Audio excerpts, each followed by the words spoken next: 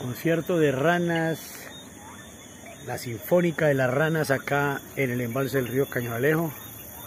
Hoy 6 de junio de 2023 en recorriendo a Siloé en Cuay de Doña Rubifani Valencia con la hermosa postal de la montaña mágica de Siloé.